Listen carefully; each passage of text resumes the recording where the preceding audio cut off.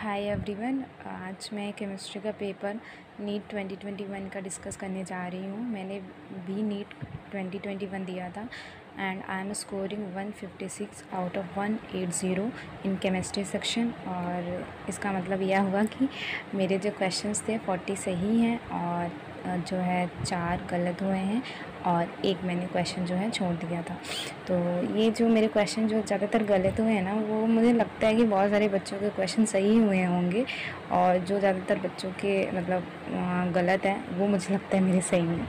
तो ये जैसे एक आरबीसी वाला था, ये तो काफ़ी सिंपल क्वेश्चन था, लेकिन पता नहीं क्या उस टाइम दिमाग आया और मैं मतलब दो ऑप्शन में कन्फ्यूज़ हो गई वन और फ़र्स्ट और सेकेंड ऑप्शन में तो फिर मैंने सेकेंड कर दिया। और ये बी एफ़ थ्री वाला तो काफ़ी सिंपल क्वेश्चन काफ़ी बार पढ़ते भी हम लोग इसको। तो लेकिन क्या हुआ था कि इसमें मुझे लगा बैक बॉन्डिंग होगा और बैक बॉन्डिंग के बाद जो है ये फ्लोरीन जो होगा अपना दो इलेक्ट्रॉन दे देगा इनके पास तो एट इलेक्ट्रॉन हो जाएँगे। तो मैंने इस हिसाब से सोचा था, लेकिन ये दोनों क्वेश्चन मेरे गलत हुए थे और ये आप इधर देख सकते हैं। इधर के क्वेश्चन तो सही थे, इधर तो मुझे ईजी लग रहा था और ये मेरा क्वेश्चन जो है गलत हुआ था। ये तो काफ़ी मतलब कि सिंपल क्वेश्चन था और इसका जो है वो बेरलिन क्लोराइड ही होगा। लेकिन क्या कहते हैं, इसमें पता नहीं क्या हो गया था मतलब पता नहीं, मैंने क्या कॉन्सेप्ट लगा दिया था। मैंने इसमें आइनिक कैरेक्टर मतलब देखने लग गई थी ये मुझे कुछ समझ में ही नहीं आया उस टाइम पे। दिमाग ही काम नहीं किया। तो ये मेरा क्वेश्चन गलत हो गया। और ये सेवन टी फोर जो ब्लास्ट फर्नेस वाला क्वेश्चन था, ये काफ़ी लोगों को मतलब कि क्योंकि ये सीधा एन से आया था, अगर आपको याद है तो ही कर पाएँगे।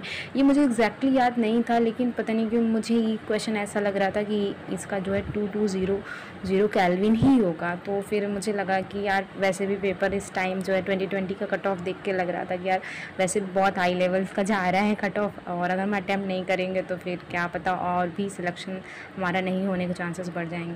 तो इसलिए फिर मैंने इसको अटैम्प्ट अटैम्प्ट किया और ये मेरा क्वेश्चन जो है सही निकला। इस बात की मुझे काफ़ी खुशी हुई। फिर उसके बाद जो है, ये ये वाला क्वेश्चन मुझे लगता है काफ़ी लोगों का गलत हुआ होगा, क्योंकि ये बहुत ही कैलकुलेटिव क्वेश्चन था और इन्होंने मतलब कि आपको कैलकुलेट करने के बाद जो है राउंड ऑफ़ करना पड़ेगा, तब जाके आंसर आएगा आपका।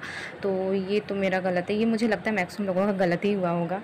क्योंकि इन्होंने इतना क्लोज ऑप्शन दे रखा था और इतना टाइम नहीं था क्योंकि फिज़िक्स का पेपर इस बार का काफ़ी लेंदी आ गया था। सो so, ये वाला क्वेश्चन मेरा मतलब कि वैसे भी मुझे इसको इस क्वेश्चन को छोड़ना ही था। लेकिन आ, क्या कहते हैं एक बार जैसे नहीं होता मैंने पेपर जो होता है मैं दो राउंड में करती हूँ फ़र्स्ट एंड सेकेंड राउंड में। तो आ, जो सेकेंड राउंड में ये क्वेश्चन मेरे को दिखा ही नहीं। पता नहीं इतना मतलब कि मतलब हो जा जल्दी जल्दी हो गया था क्योंकि फ़िज़िक्स भी करनी थी और फिज़िक्स तो काफ़ी मतलब कि लेंदी थी। तो इसलिए मतलब ये क्वेश्चन छूट गया और अच्छा वो मुझे लगता है छूट गया अदरवाइज़ नहीं मैं गलत कर दी थी तो ये रहा मेरा पेपर सो ये आप देख सकते हैं इतना मतलब केमिस्ट्री में स्कोर आ रहा है। अभी तो ये एलन की आंसर की से है, एक बार फाइनली जो है एन डी ए की आंसर किया जाए, फिर फिर मैं आपको बताऊँगी मेरे कितने स्कोर्स बन रहे हैं। Thank you and please like share and subscribe to my channel यार।